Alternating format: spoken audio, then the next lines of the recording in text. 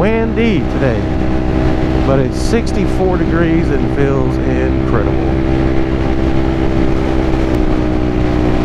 What's up, everybody? Enjoying this absolutely beautiful weather in East Tennessee today. This is how we need to start off 2019 for sure.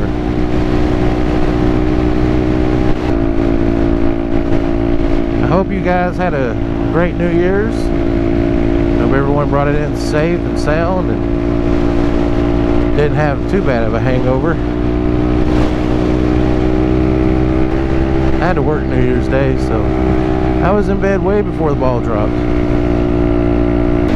Just kind of wanted to do an update on the uh, P.O. box. Apparently there was miscommunication with myself and the post office.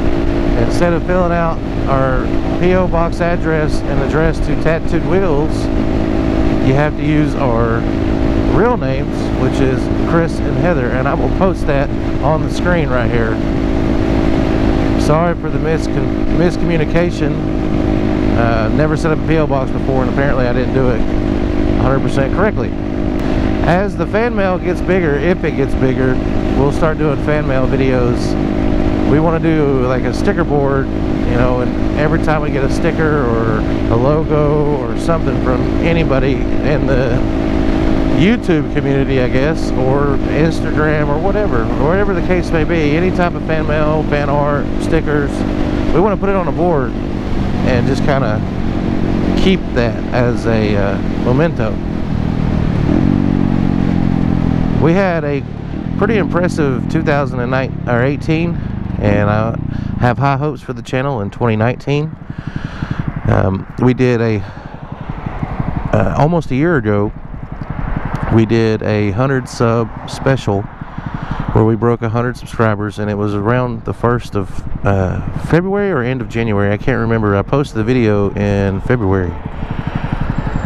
And as of recording this video I think we're at 840 841 something like that so that's not bad for the first year hopefully uh, we've got some plans for the channel to kind of drive the subscriber count up and hopefully build this channel to something even bigger than it is. That's one of the reasons we changed the name so we could brand it that way. And I look forward to, you know, creating the content that everyone likes to watch.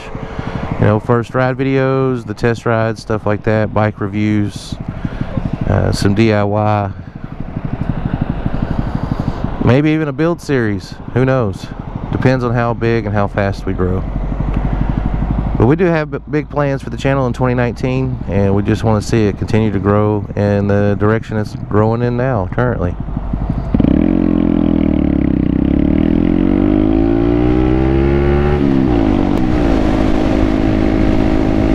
In 2019 I don't have to work as much overtime at my my full-time job so I can do more with the channel. Last year I worked almost 700 hours of extra overtime at my work and that is a lot of days if you guys want to give us any ideas on on the type of content or videos you're looking to, to watch or see feel free to leave a comment below down below the video and we will do our best to work towards that. We we want to create stuff that you guys want to watch. I know a lot of stuff gets boring to people after a while so we want to kind of keep it fresh. So this is pretty much a channel update video like what direction we want to kind of go with in 2019 and and how we want to build on the channel success from 2018 if you guys did watch our dream job vlog that we did you know this is something I would like to do full-time uh, motorcycle related like journalism type job I guess you could say where I get to ride around and travel and, and review bikes, get to test drive, test ride new bikes,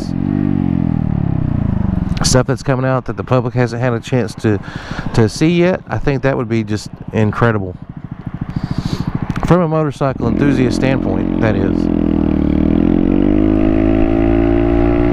So if you guys have any idea for the channel or any ideas for the channel, you know, feel free to comment below. We're always open to suggestion. You know, feedback from from those who watch the channel is what we need. If you don't like certain things, then tell us. If you want to see certain things, please, you know, inform us.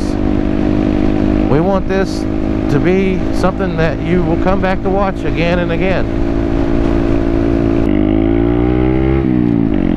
So with that, I'm going to end this video. You guys have a great day. I'll catch you later.